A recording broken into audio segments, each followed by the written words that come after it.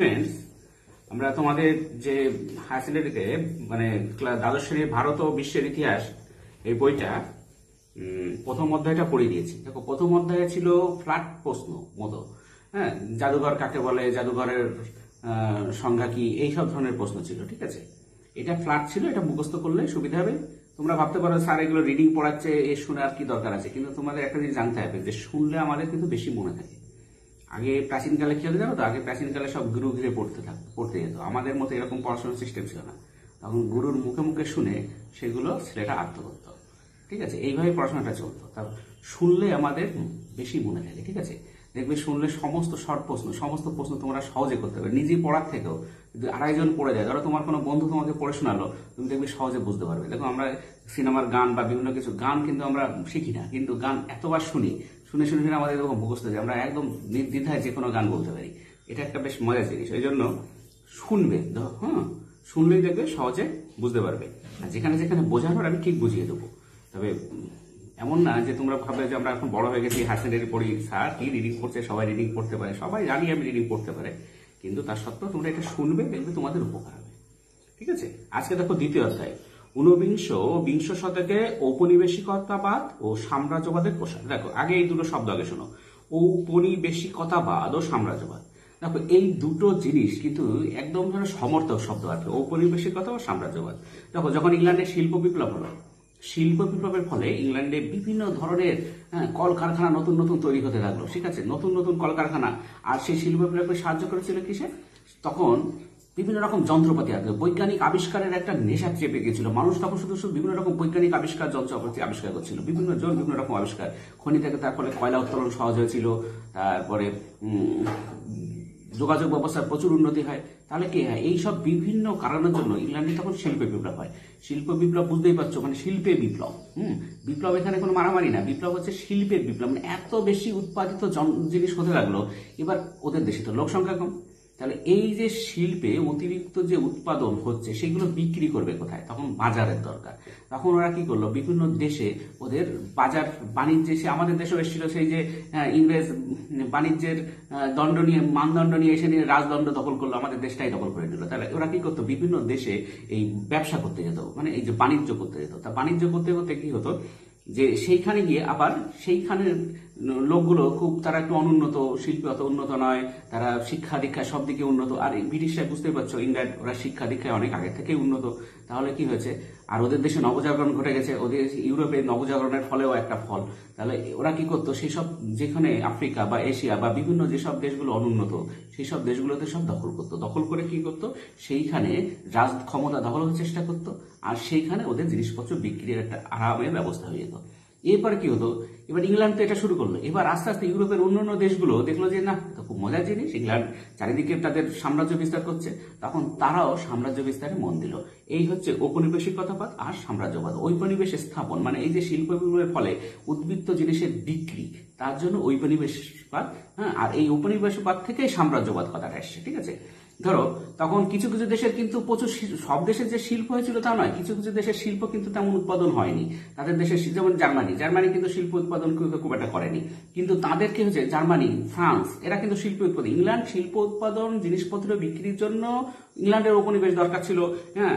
এবার পরে সাম্রাজ্যবাদী ওদের নীতি নিয়েছে, সেটা আলাদা কথা, কিন্তু ইংরেজ উপনিবেশ দরকার ছিল। কিন্তু ফ্রান্স হ্যাঁ বেলজিয়াম, তারপরে, ধরো আরও কিছু, রাশিয়া তারপরে জার্মানি। এদের কিন্তু উপনিবেশের দরকার ছিল না। এরা কিন্তু কি এরা পেস্টিস ফাইট এরা ভাবছে, এদের দেশগুলো আসলে উন্নত তো?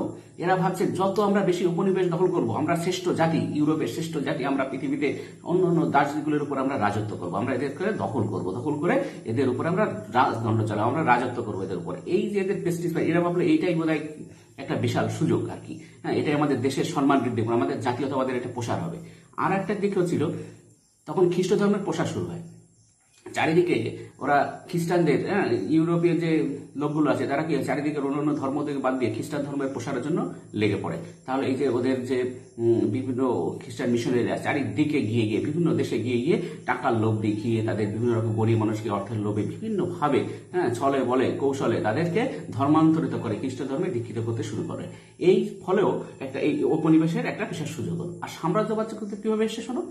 সাম্রাজ্যবাদ এসে ধরো, যখনই উপনিবেশ শুরু হলো, আর ইংল্যান্ডে প্রচুর শিল্প উৎপাদন হলো, তাহলে প্রথমে কি হলো? ইংল্যান্ডের লোক ছিল কি প্রথমে? কৃষিজীবী এবার কি হলো? কৃষকরা সব চলে আসলো কারখানায় শ্রমিক হতে। এবার শ্রমিক হয়ে গেলে ওদের কি হলো? কারখানার জিনিসপত্র তখন শুধু বাড়তে লাগল। কিন্তু কৃষি জিনিসে কৃষিতে ওদের অসুবিধা হয়ে গেল। কৃষিতে শ্রমিক, সব তো শ্রমিক হয়ে গেছে। তাহলে কি হচ্ছে তাদের লোক সংখ্যা কাজের দরকার। তাহলে যেহেতু কর্মসংস্থানের দরকার, তাহলে আরও নতুন নতুন কারখানা তৈরি হলো। আর নতুন নতুন কত কারখানা তৈরি হলো, তখন কি হলো, ওদের যারা কলকারখানাগুলো তৈরি করল, আগে ছিল ধরো ভূস্বামী যারা যারা প্রচুর পয়সার মালিক, তারা কি করল, প্রচুর প্রচুর কলকারখানা তৈরি করল। আরও কলকারখানা আরও লাভ, আর শ্রমিকদের তো তেমন কিছু পয়সা করে দিত না। তাহলে শুধু কারখানার মালিকরা এত পরিমাণ পয়সা হয়ে গেল, এরা কি করল, তাদের সেই উদ্বৃত্ত পয়সা হ্যাঁ তাদের দেশের সরকারকে দিতে লাগল বিভিন্ন দেশে ঔপনিবেশ স্থাপন করার জন্য। এইভাবেই সাম্রাজ্যবাদটা ছড়িয়ে পড়ল। ঠিক আছে, এবার পড়া যাক। দেখো, সূচনা।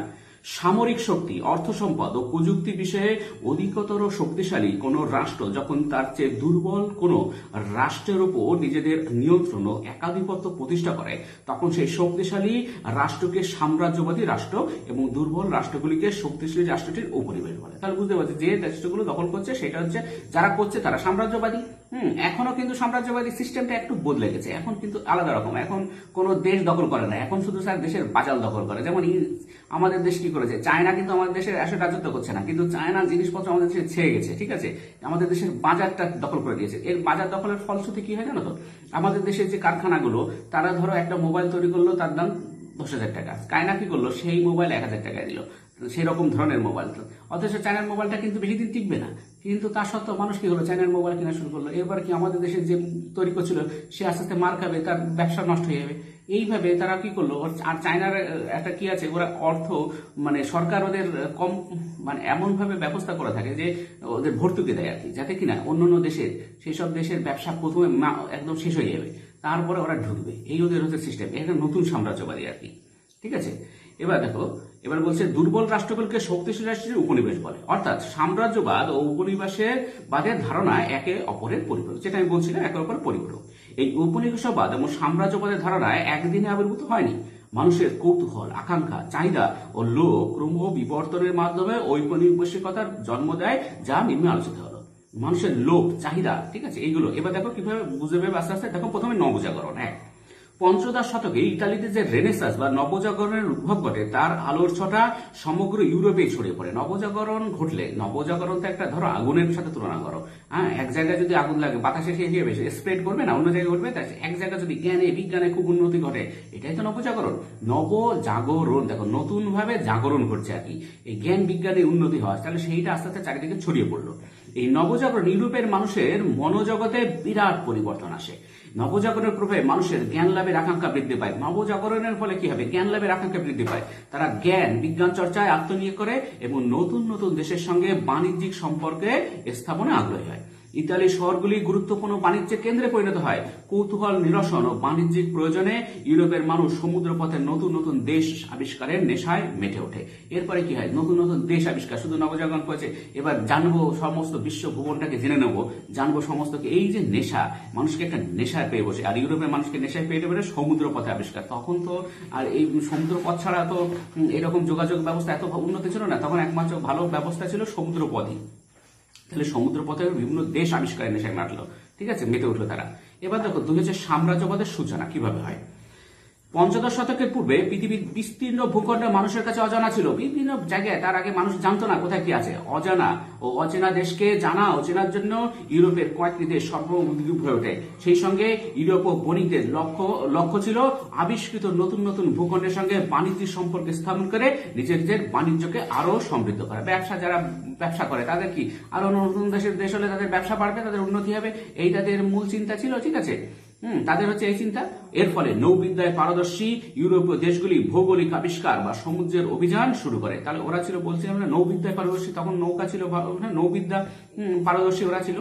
জাহাজে করে বিভিন্ন জায়গায় যেত, ঠিক আছে? এই ভৌগোলিক আবিষ্কারের মধ্যে দিয়ে সাম্রাজ্যবাদের সূচনা ঘটে। এই আবিষ্কার, নতুন নতুন দেশ আবিষ্কার করল আর সেই সব দেশে গিয়ে তারা হ্যাঁ দখল করতে শুরু করল। এইভাবে সাম্রাজ্যবাদের সূচনা ঘটে।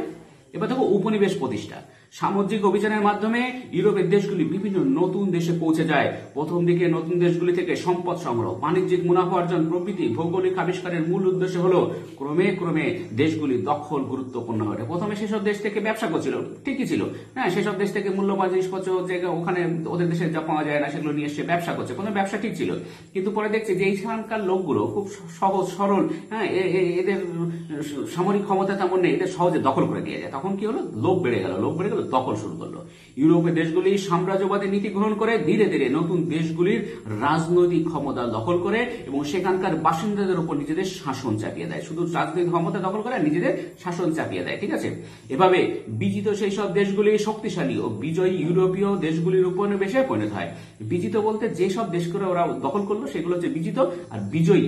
বিজয়ী, খেয়াল করো, বিজয়ী শব্দটা, বিজিত আর বিজয়ী। বিজয়ী হচ্ছে ইউরোপের দেশগুলি, দেশগুলির উপনিবেশ পরিণত হচ্ছে মানে যারা জিতলো তারা সেই সব দেশে তাদের ঔপনিবেশ স্থাপন করল। ঔপনিবেশ মানে কলোনি আর কি। ঔপনিবেশ স্থাপন করল। এবার দেখো, বিভিন্ন অঞ্চলে উপনিবেশ উত্তর আমেরিকা উত্তর আমেরিকা, দক্ষিণ আমেরিকা, মধ্য এশিয়া, আফ্রিকা, অস্ট্রেলিয়া মহাদেশের উপর ইউরোপের কয়েকটি দেশ নিজেদের দখলদারি প্রতিষ্ঠা করে এবং এই সব অঞ্চল থেকে অর্থ সম্পদ নিজেদের দেশে চালান করতে থাকে। এখান থেকে নিয়ে সব চালান করে যেমন ইংল্যান্ড ইংল্যান্ড কি করেছে? আমাদের দেশে লুটে ফুটে আমাদের দেশের সমস্ত অর্থ সব নিয়ে চলে গেছে। ফলে এসব মহাদেশ ইউরোপীদের তীব্র শোষণ ও বঞ্চনার শিকার হয়। শোষিত ও বঞ্চিত এসব দেশের সম্পদের উপর নির্ভর করে আধুনিক ইউরোপের উন্নত দেশগুলির সভ্যতা ও সংস্কৃতি গড়ে উঠেছে। এখান থেকে নিয়েই সমস্ত ওরা তৈরি করেছে। প্রসঙ্গত উল্লেখ্য যে, বিংশ শতকের শুরুতে পৃথিবীর অন্তত অর্ধেক ভূখণ্ড সাম্রাজ্যবাদী দেশগুলির নিয়ন্ত্রণে ছিল। পৃথিবীর অর্ধেক ভূখণ্ড সাম্রাজ্যবাদী দেশগুলির যারা এই কয়েকটা সাম্রাজ্যবাদী দেশের নিয়ন্ত্রণে ছিল। ব্যাপারটা কত এর মধ্যে ব্রিটেনের উপনিবেশের সাম্রাজ্য ছিল বৃহত্তম। সেই জন্য কি বলতো? ব্রিটেনের সূর্য কখনো অস্তগামী মানে ব্রিটিশের সূর্য অস্তগামী হয় না। মানে কি? মানে ব্রিটিশের রাজত্ব এমন জায়গা আছে যে যেখানে সব সময় কোথাও না কোনো কোনো দেশে না কোনো দেশে সূর্য উঠছে আর কি। মানে অস্তগামী হচ্ছে না ব্রিটিশের সূর্য। এরকম ব্যাপারটা ছিল। এত বৃহত্তম ছিল আর কি। আর্গিল এর ডিউক আঠারোশো সাতানব্বই খ্রিস্টাব্দে মন্তব্য করেন যে, রোমান সাম্রাজ্যের পতনের পরবর্তীকালে অন্য কোনো সার্বভৌম রাষ্ট্র এমন সুবিশাল সাম্রাজ্যের অধিকারী হয়নি। দেখো, রোমান সাম্রাজ্য একসময় খুব বিশাল উন্নতি লাভ করেছিল, ঠিক আছে? কিন্তু সেই জন্য কি বলছে, রোমান সাম্রাজ্যের পতনের পরবর্তীতে কোন কোন সার্বভৌম রাষ্ট্র এমন সুবিশাল সাম্রাজ্য অধিকারী হয়নি। রোমান সাম্রাজ্যের পরে ইংল্যান্ডের তুলনা আর কি করছে যে, সেইখানে তারা একমাত্র সাম্রাজ্যবাদের এত উন্নতি করেছিল আর কি, সাম্রাজ্যের অধিকারী হয়েছিল। এত দেশ দখল করে নিয়েছিল তারা। এবার দেখো, সপ্তদশ, অষ্টাদশ থেকে ঔপনিবেশিক সাম্রাজ্যবাদ সম্পর্কে সংক্ষিপ্ত ধারণা দেখো। সাম্রাজ্যবাদ, লাতিন ইম্পেরিলা ইম্পেরিয়াম শব্দটি ইংরেজি ইম্পেরিয়ালিজম দেখো ইম্পেরিয়ালিজম বা সাম্রাজ্যবাদ কথাটির উৎপত্তি হয়েছে। ল্যাটিন শব্দ। ল্যাটিন কেন আমরা শিখি ওই যে বললাম? একসময় রোম খুব উন্নত করেছে, তার ফলে কিন্তু আমাদের ল্যাটিনটা খুব জানতে হয়। ল্যাটিন ইম্পেরিয়াম শব্দটি থেকে ইম্পেরিয়ালিজম বা সাম্রাজ্যবাদ কথাটির উৎপত্তি হয়েছে। প্রথম দিকে অর্থ ছিল সামরিক কর্তৃত্ব প্রথম দিকে অর্থ কি ছিল? সামরিকতা অর্থ কিন্তু আস্তে আস্তে ধীরে ধীরে পরিবর্তন হতে থাকে। পরবর্তীকালের অর্থ দাঁড়ায় বৃহৎ রাষ্ট্রের দ্বারা বিরোধ রাষ্ট্রের দ্বারা অপেক্ষিত দুর্বল বা ক্ষুদ্র রাষ্ট্রের উপর ঔপনিবেশিক শাসন প্রতিষ্ঠা করা। ঠিক আছে? অর্থাৎ বিরোধ সাম্রাজ্যবাদের কি পরিবর্তন হয়? বিরোধ রাষ্ট্র দ্বারা দুর্বল ক্ষুদ্র রাষ্ট্রের উপর ঔপনিবেশ ঔপনিবেশিক শাসন প্রতিষ্ঠা করা। ফরাসি সম্রাট নেপোলিয়নের রাজত্বের পরবর্তীকালে ইউরোপের সাম্রাজ্যবাদ শব্দটি নিন্দাসূচক অর্থে ব্যবহার শুরু হয়। নেপোলিয়ন কি করেছিল? নেপোলিয়ন বিভিন্ন দেশ, শুধু দেশ দখলের নেশায় নেমেছিল। প্রথমে, দেখো, সাম্যমৈত্রী স্বাধীনতা, যেটার জন্য ফ্রান্সের মূল মানুষ ফ্রান্সের স্বাধীনতা বিপ্লবের জন্য ঝাঁপিয়ে পড়ে। হ্যাঁ সেখানে এত হয় যে দার্শনিকদের এত অবদান, সবকিছুর অবদান সাম্য মন্ত্রী স্বাধীনতা, যেটার জন্য আগে ছিল কি? আগে সব, এইসব ইউরোপের দেশগুলোতে, ফ্রান্স বা অন্যান্য দেশগুলোতে কি ছিল? সব রাজতন্ত্র ছিল। কিন্তু এই যে বিপ্লবের ফলে রাজতন্ত্রগুলো আস্তে আস্তে ধ্বংস হতে থাকে। নেপোলিয়নের বিশাল ভূমিকা ছিল। নেপোলিয়ন কি করেছিল?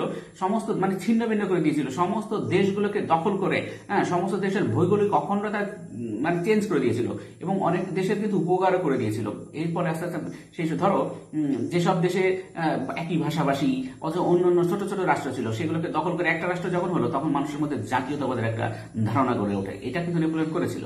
এবং কি হয়েছিল? এই যে নেপোলিয়নের এই করার জন্য সাম্রাজ্যবাদ নেপোলিয়নের যে সব দখল করতে এই সাম্রাজ্যবাদ কথাটা একটা নিন্দাসূচক অর্থে ব্যবহার শুরু হয়। ঠিক আছে? সেটা নেপোলিয়নের আলোচনা পরে। পরবর্তীকালে ব্রিটিশ লেখকগণ নিন্দাসূচক অর্থটি বাদ দিয়ে সাম্রাজ্যবাদের নতুন অর্থ স্থির করেন। ক্রমে সাম্রাজ্যবাদ শব্দটি ঔপনিবেশিক শাসনের সঙ্গে যুক্ত হয়ে যায়। এবার দেখো ঔপনিবেশিক কথাবাদ লাতিন, কলোনিয়া শব্দটি থেকে কলোনি বা উপনিবেশ শব্দটির উৎপত্তি হয়েছে। উপনিবেশ শব্দটির মূল অর্থ হলো মানব সমাজের একটি স্থানান্তরিত দেশ। উপনিবেশ মানে মানব সমাজের একটি স্থানান্তরিত দে- অংশ আর কি। হ্যাঁ যেখানে একটা অন্য একটা জায়গায় উপনিবেশ মানে এক জায়গায় বাস করছে আর এক জায়গায় গিয়ে বাস করা স্থানান্তরিত অংশ।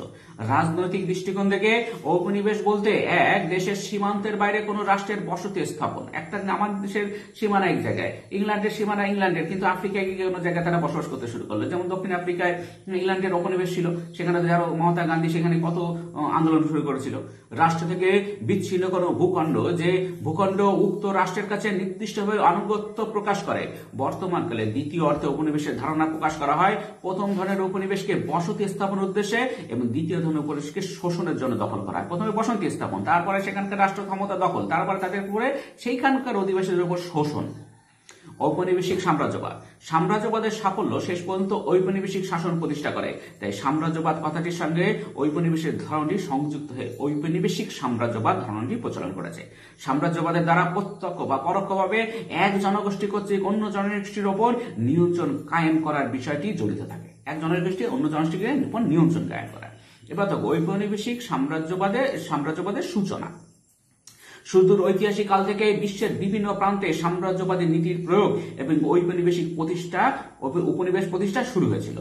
প্রাচীনকালে হিট্টাইট, ইনকা, গ্রিক, ম্যাসিডোনীয় প্রভৃতি গ্রিক বিভিন্ন জাতি সাম্রাজ্যবাদী নীতি গ্রহণ করেছিল। প্রাচীন কাল থেকে যদি এটা কেন আজকের না? প্রাচীন মানে বহু পুরনো থেকেই হিট্টাইট, ইনকা, গ্রিক, ম্যাসিডোনীয় এরাও কিন্তু সাম্রাজ্যবাদী নীতি গ্রহণ করেছিল। তবে আধুনিক কালে ইউরোপের বিভিন্ন দেশ সাম্রাজ্যবাদী নীতি গ্রহণ করে যে সুবিশাল ঔপনিবেশিক সাম্রাজ্য গড়ে তোলে, তা এক কথায় অভূতপূর্ব। আধুনিক ইউরোপ ও সাম্রাজ্যবাদ ও ঔপনিক ঔপনিবেশবাদ শুরু হয় পঞ্চদশ শতকের সামুদ্রিক অভিযানের যুগ থেকে হয়েছে বুঝি সামুদ্রিক অভিযান সামুদ্রিক অভিযানের ফলে নতুন নতুন দেশ তারা আবিষ্কার করল। আমেরিকা মহাদেশে চলে গেল, আমেরিকা আবিষ্কার হলো। তারা আমেরিকা জানতো না ইউরোপ মানুষ। ঠিক আছে? পঞ্চদশ শতকের মাঝামাঝি সময় থেকে ইউরোপের বেশ কয়েকটি দেশ সমুদ্র অভিযানে খুবই দক্ষতা দেখায়। এক, দেখো, পর্তুগাল ও স্পেনের সাফল্য। সামুদ্রিক অভিযানে প্রথম দিকে সর্বাধিক সাফল্য দেখায় পর্তুগাল ও স্পেন। শীঘ্রই সমুদ্র অভিযান নিয়ে পর্তুগাল ও স্পেনের মধ্যে বিরোধ দেখা দিলে পোপ ষষ্ঠ আলেকজান্ডার এক বুল বা নির্দেশনামায় চোদ্দশো তিরানব্বই খ্রিস্টাব্দ দ্বারা স্পেনের সামুদ্রিক অভিযানের এলাকা নির্দিষ্ট করে দেন। কিন্তু এতে পর্তুগালের আপত্তি জানালে শেষ পর্যন্ত উভয় দেশের মধ্যে টর ডি সিল্লাস এর চুক্তি টর ডি সিল্লাস টর ডি সিল্লাসের চুক্তি চোদ্দশো চুরানব্বই খ্রিস্টাব্দে স্বাক্ষরিত হয়। এর দ্বারা আটলান্টিক মহাসাগরের পূর্ব দিক পর্তুগালের এবং পশ্চিম দিক স্পেনের নৌ অভিযানের এলাকা চিহ্নিত করা হয়। দেখো, যখনই সব আবিষ্কার শুরু হলো, সবকিছু তা- নিয়ে গন্ডগোল শুরু হয়ে গেল আর কি। তাদের এলাকা চিহ্নিত করতে হলো। এবার দেখো, ঔপনিবেশ প্রতিষ্ঠা। পর্তুগাল ও স্পেন ছাড়া ষোড়শো সপ্তদশ শতকে সমুদ্র অভিযানে ইউরোপের আরও কয়েকটি দেশ বিশেষ সাফল্য দেখায়। এসব দেশের মধ্যে উল্লেখ ছিল হল্যান্ড। ফ্রান্স, ইংল্যান্ড, ডেনমার্ক প্রভৃতি। নৌবিদ্যায় পারদর্শী এসব দেশ ষোড়শ ও সপ্তদশ শতকের মধ্যে বিভিন্ন নতুন ভূখণ্ড জলপথ আবিষ্কার করে। তারা আমেরিকা, আফ্রিকার উপকূল, মধ্যপ্রাচ্য, ভারতবর্ষ, পূর্ব এশিয়া প্রভৃতি স্থানে পদার্পণ করে। সেই সব স্থানের সঙ্গে বাণিজ্যিক সম্পর্ক স্থাপন করে। পরবর্তীকালে আরও বহু স্থানের রাজনৈতিক ক্ষমতা দখল করে ইউরোপীয়রা সেখানে নিজেদের ঔপনিবেশ শাসক প্রতিষ্ঠা করে। এই যে, প্রথমে আমেরিকা, আফ্রিকা উপকূল, মধ্যপ্রাচ্য, ভারত পূর্ব এশিয়া। সেখানে কি করল? তারা তাদের ঔপনিবেশিক সাম্রাজ্য প্রতিষ্ঠা করল। প্রথমে ব্যবসা, তারপরে দেখল যে এখানকার লোক খুব সহজ সরল, এদের সহজে করবে, এদের সামরিক শক্তি তেমন উন্নতি নয় শিক্ষা দিকে উন্নতি এদের দখল করে নাও। ভৌমিক সাম্রাজ্যবাদ দেখো। সপ্তদশ, অষ্টাদশ শতকের মধ্যে ইউরোপের Spain, Portugal, England, France Holland, Denmark প্রভৃতি সাম্রাজ্যবাদী দেশগুলি পৃথিবীর বিভিন্ন দেশের ভূখণ্ড দখল করে, সেখানে নিজেদের ঔপনিবেশিক শাসন প্রতিষ্ঠা করে। এই সাম্রাজ্যবাদ ভৌমিক সাম্রাজ্যবাদ নামে পরিচিত। ভৌমিক সাম্রাজ্যবাদের দ্বারা আঠারোশো পনেরো খ্রিস্টাব্দ পর্যন্ত অব্যাহত থাকে। এই ভৌমিক সাম্রাজ্যবাদ, এটা আঠারোশো পনেরো খ্রিস্টাব্দ পর্যন্ত অব্যাহত থাকে। এবার দেখো, ইঙ্গ ফরাসির প্রতিদ্বন্দ্বিতা। এই যে সাম্রাজ্যবাদ নিয়ে এবার প্রতিদ্বন্দ্বিতা শুরু হচ্ছে, দেখো। পৃথিবীর বিভিন্ন প্রান্তে ঔপনিবেশ প্রতিষ্ঠা ও প্রসারের কাজে ইংল্যান্ড ও ফ্রান্স ক্রমে শ্রেষ্ঠত্ব অর্জন করে, কিন্তু উপনিবেশের প্রসারকে কেন্দ্র করে শীঘ্র ইংরেজ ও ফরাসিদের মধ্যে প্রতিদ্বন্দ্বিতা শুরু হয়।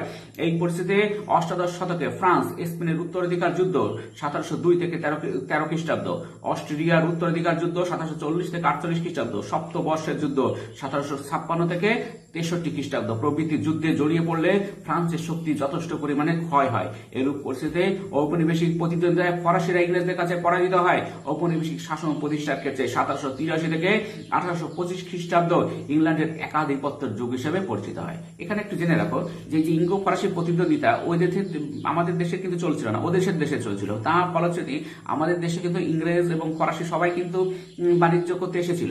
ইংরেজ এসেছিল, ফরাসিও এসেছিল। ফরাসি বিভিন্ন কুটি ছিল দেখো, সেই যে চন্দ্রনগর ফরাসিদের কুটি ছিল, এরকম পন্ডিচেরি, আর কোন কোন জায়গায় ফরাসিদের তারা কি হলো ঔপনিবেশের যুদ্ধ যখন শেষ হলো, তারা সেখান থেকে চলে যেতে বাধ্য হলো। মানে যখন সপ্তবর্ষের যুদ্ধ শেষ হলো, ওদের মধ্যে মীমাংসা হয়ে গেল, তখন ওরা যে যার এলাকা কি করল, যে যে যেখানে শাসন আছে, তার এলাকা থাকবে। সেই জন্য আমাদের দেশের মানে ইংল্যান্ড দখল করল ইসের অনেক জায়গায় ফ্রান্সের উপনিবেশ অনেকগুলো ছিল কিন্তু আমাদের দেশও। পরবর্তীকালে আমরা যখন দেশ স্বাধীন হয়, তখন সেসব উপনিবেশগুলো আমাদের, আমরা দখল করে নিই আর কি। এবার দেখো, ঊনবিংশ ও বিংশ শতকের প্রথমার্ধে ঔপনিবেশ দখলে কড়াকড়ি। হ্যাঁ এই যে কাড়াকাড়ি শুরু হয়, ঊনবিংশ, বিংশ থেকে প্রথমার্ধে উপনিবেশ দখলে কাড়াকাড়ি শুরু হয়। দেখো, প্রথমে কে আগে যাবে, কে আগে যাবে, এই যে কাড়াকাড়ি আর কি। কোন দেশ আগে দখল করব? কে কত বেশি শক্তিশালী হবে? আঠারোশো পঁচিশ খ্রিস্টাব্দের পর থেকে কিছুকাল উপনিবেশ প্রতিষ্ঠার বিষয়ে ইউরোপীয় দেশগুলি রাষ্ট্রগুলি ও জনমত কিছুটা বিরূপ ছিল। এই সময় ইউরোপের বহু ঔপনিবেশিক সাম্রাজ্য ভেঙে পড়ে। সতেরোশো তিরাশি খ্রিস্টাব্দে আমেরিকায় ব্রিটিশ উপনিবেশ ইংল্যান্ডের অধীনতা পাশ থেকে মুক্ত হয়। আঠারোশো পনেরো খ্রিস্টাব্দের মধ্যে ফ্রান্স তার আমেরিকা স্থিত উপনিবেশগুলি হারায়। ঠিক আছে? এই যে আমেরিকার উপনিবেশ যেগুলো করেছিল, আমেরিকা স্বাধীনতা হয়ে যাবে আর কি। স্পেন হারায়, দক্ষিণ আমেরিকার উপনিবেশ সমূহ আঠারোশো কুড়ি খ্রিস্টাব্দ আঠারোশো বাইশ খ্রিস্টাব্দে ব্রাজিল, পর্তুগালের অধীনে থেকে মুক্তি লাভ করে। অ্যাডাম স্মিথ মন্তব্য করেছিলেন উপনিবেশগুলি থেকে যা লাভ হয়, তার তুলনায় উপনিবেশগুলির ব্যয় বেশি। মানে ওখানে দখল করে লাভটা কি? ওখান থেকে তখন কি হচ্ছিল? ওইসব দেশ থেকে যা আয় আসছিল, তার থেকে ব্যয় ওইগুলোকে দখল করে রাখতে গেলে বেশি ব্যয় হচ্ছিল। তার জন্য ওগুলো থেকে ওরা ছেড়ে দিল আর কি। আঠারোশো একষট্টি খ্রিস্টাব্দে ফ্রান্স তার উপনিবেশগুলি উন্মুক্ত করে দিয়েছিল। গ্লাড স্টোনের বিশ্বাস ছিল, ব্রিটিশ ঔপনিবেশিক সাম্রাজ্য ভেঙে যাবে, কিন্তু মাত্র অর্ধ শতক বিরতির পর আঠারোশো সত্তর খ্রিস্টাব্দে সেটানের যুদ্ধের পর থেকে সাম্রাজ্যবাদী প্রয়াস ইউরোপ ও শক্তিগুলিকে উত্তাল করে তুলেছিল। তাই আঠারোশো সত্তর থেকে উনিশশো চোদ্দ কাল পর্বে সম্প্রসারণবাদ বা নয়া সাম্রাজ্যবাদ নামে পরিচিত। এবার দেখো ফ্রান্স।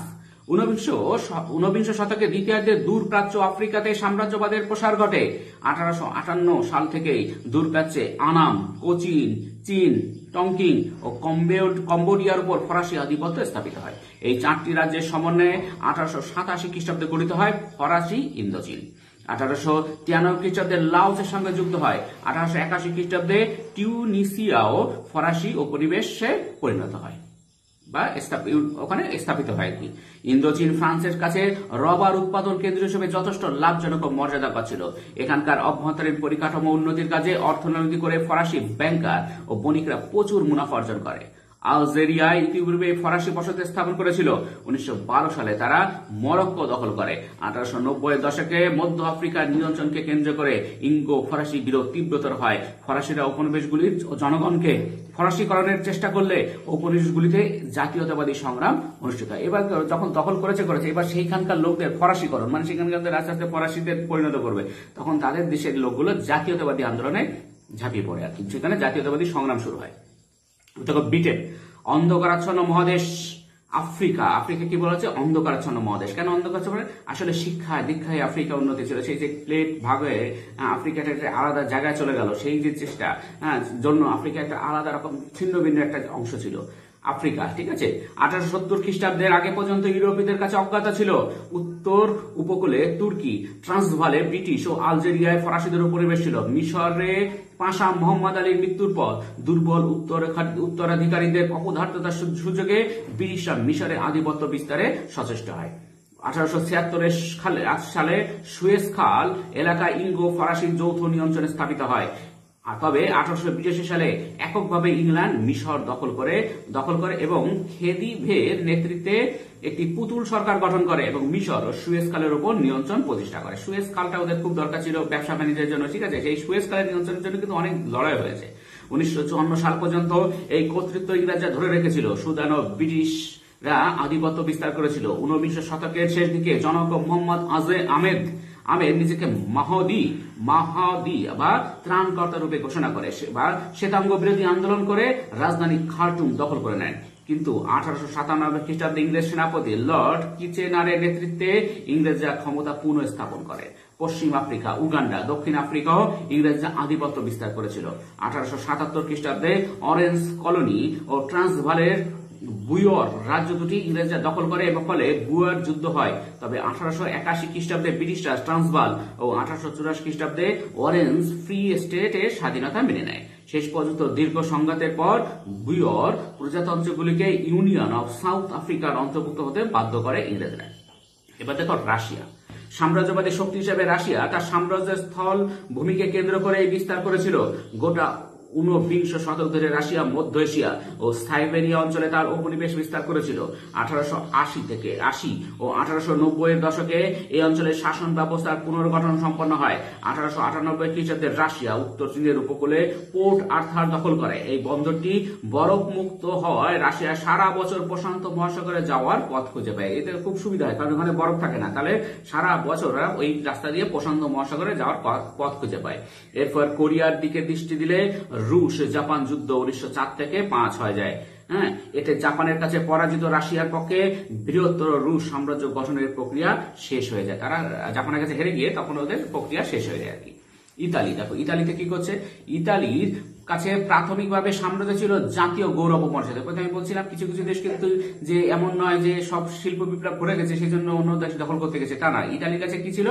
জাতীয় গৌরব মর্যাদার প্রতি ইতালি লক্ষ্য ছিল উত্তর আফ্রিকায় সাম্রাজ্য বিস্তার, কিন্তু ফ্রান্সে টিউনিসিয়া দখল করে, দখল তাকে হতাশ করে।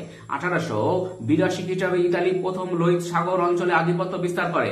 এরপর আঠারোশো পঁচাশি খ্রিস্টাব্দে মাসোয়া ও আঠারোশো নব্বই খ্রিস্টাব্দে ইরিত্রিয়া দখল করে। সোমালিল্যান্ডের একাংশে ইতালির শাসন প্রবর্তিত হয়, কিন্তু আঠারোশো ছিয়ানব্বই খ্রিস্টাব্দে ইতালি ইথিওপিয়া দখলে ব্যর্থ হয়, যা তার জাতীয় মর্যাদাকে ক্ষুণ্ণ করে। উনিশশো এগারো খ্রিস্টাব্দে লিবিয়া জয় করে এবং উনিশশো পঁয়ত্রিশ খ্রিস্টাব্দে মুসলিনী ইথিওপিয়া জয় করে পূর্ব পরাজয়ের প্রতিশোধ নেয়। এবার দেখো বেলজিয়াম। বেলজিয়াম রাজ্য দ্বিতীয় লিওপোল্ডের উদ্যোগে স্টানলি, লিভিং স্টোন প্রমুখ অভিযাত্রী আফ্রিকার আবরণ উন্মোচনে বিশেষ ভূমিকা গ্রহণ করে। আঠারোশো ছিয়াত্তর খ্রিস্টাব্দে আন্তর্জাতিক আফ্রিকা সংঘ গঠন করা হয় এবং স্টানলির নেতৃত্বে এই সমিতি নাইগান নদীর উপত্যকায় কঙ্গোর খনিজ সম্পদে সম্পদ সমৃদ্ধ অঞ্চলগুলিতে বেলজিয়ামের আধিপত্য প্রতিষ্ঠিত হয়। আঠারোশো চুরাশি থেকে পঁচাশি তে গঠিত কঙ্গো ফ্রি স্টেট এর প্রকৃতপক্ষে বেলজিয়াম কর্তৃক, বেলজিয়ামের কর্তৃক স্থাপিত হয়। বার্লিন সমাবেশ আঠারোশো পঁচাশি খ্রিস্টাব্দের মাধ্যমে কঙ্গোর বৃহত্তম অংশ বেলজিয়ামের আধিপত্য স্বীকৃত হয় এবং আফ্রিকাকে বিরোধ শক্তিগুলি ভাগ বাটোয়ারা করার সিদ্ধান্ত নেয়। আফ্রিকা মহাদেশকে যে যার মতো ভাগ বাটোয়ারা নিয়ে নিল আর কি। জার্মানি, জার্মানির ঐক্য দেরিতে সম্পন্ন হয়, তারা সভ্যতার অভিযানে দেরিতে যোগ দিয়েছিল। তাদের ঔপনিবেশিকতাবাদের মুখ্য উদ্দেশ্য অর্থনৈতিক সুবিধা বৃদ্ধি ছিল না, জাতীয় মর্যাদা বৃদ্ধি। ছিল এদের সে একই অবস্থা। ইতালি, জার্মানি এদেশে একই অবস্থা, জাতীয় মর্যাদা বৃদ্ধি। তাদের ঔপনিবেশিকতাবাদের মুখ্য উদ্দেশ্য অর্থনৈতিক সুবিধা বৃদ্ধি ছিল না, কারণ ওদের তো শিল্প উন্নত ছিলই না। জাতীয় মর্যাদা বৃদ্ধি ছিল। ঊনবিংশ শতকের শেষার্ধে ও বিংশ শতকের সূচনা জার্মানি দ্রুত গতিতে দক্ষিণ পশ্চিম আফ্রিকা, টাঙ্গানিকা, ক্যামেরুন, লুসিয়া, উপসাগরীয় অঞ্চল ইত্যাদি অধিকার করে। তবে জাতীয় মর্যাদার প্রতি এই অঞ্চলগুলি অর্থনৈতিক দিক থেকে তেমন লাভজনক ছিল না। বিসমার্কের রিয়েল পলিটিক এর পরিবর্তে কাইজার দ্বিতীয় উইলিয়াম ওয়েল পলিটিক নীতি গ্রহণ করে জার্মানিকে ঔপনিবেশিকতাবাদ এবং ইংল্যান্ড ও ফ্রান্সের সঙ্গে ভবিষ্যৎ সংঘর্ষের দিকে অগ্রসর হয়। স্টুডেন্টস এরপরে পড়ালে বড় হয়ে যাবে। আজকে এই পর্যন্তই। তোমরা এইটু ভালো করে দেখবে। তাহলে দেখবে তোমার যে কোনো শর্ট প্রশ্ন যে কোনো প্রশ্ন, আসলে বইটা বোঝার দরকার। বুঝলেই হবে। তোমরা ভাবতে পারো, স্যার রিডিং পড়ছে কিন্তু নয় ব্যাপারটা। এই রিডিং পড়াটাই শুনবে। শুনলেই তোমাদের অনেক উপকার হবে। আজকে এই পর্যন্তই। পরের ভিডিও দেখা হবে। Thank you very much for watching